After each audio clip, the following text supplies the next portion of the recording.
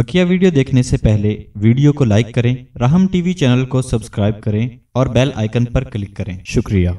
अल्लाम हज़रत अहमद बहावल नगर, पंजाब, पाकिस्तान से। उम्मीद है कि आप खैरियत से होंगे। अल्लाह ताला आपको अपने हिस्सोमान में रखे और अल्लाह ताला हासिन की से महफूज रखे। आमीन। हज़रत साहब सबसे पहले जो है, मैं आपकी खिदमत में एक छोटा सा शेर पेश करना चाहूँगा कि शश तकरीर से गरमाए हर सामे का खून, जो शश तकरीर से गरमाए हर सामे का खून मेरे मुर्शद मौलाना मुफ्ती मुनीर अहमद अखून तो हज़रत, मेरा छोटा सा सवाल ये है कि जिस तरह हम पीर मुर्शद से ताल्लुक़ रखकर दुनिया में हर किस्म की रहनुमाई लेते हैं तो क्या कल क़्यामत के दिन भी पीर मुर्शद हमारी हर किस्म की रहनुमाई करेंगे?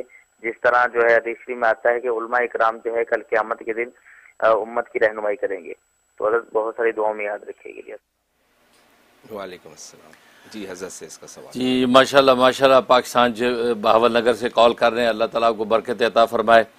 और बाकी जो आपने शेर पेश किया, अल्लाह तबारक व जो आपके हुसन जन को हकीकत से बदले और वाकई इस काबिल बना दे कि अल्लाह तबारक व ताली जो है, वो लोगों की असलाह का ज़रिया बनाए मेरे बयान को, मेरी गुफ्तु को।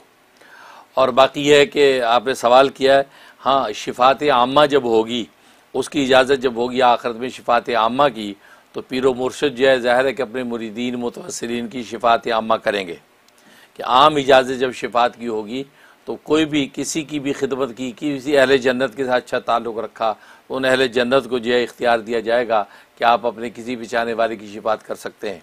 तो वहाँ पीर मुर्शद जो है, वो यकीन अपने मुतवसरी मुरीदीन की शिफात आमा करेंगे और उसकी वजह से बहुत से लोगों की मगफ़रत बख्शिश का फ़ैसला होगा। माशा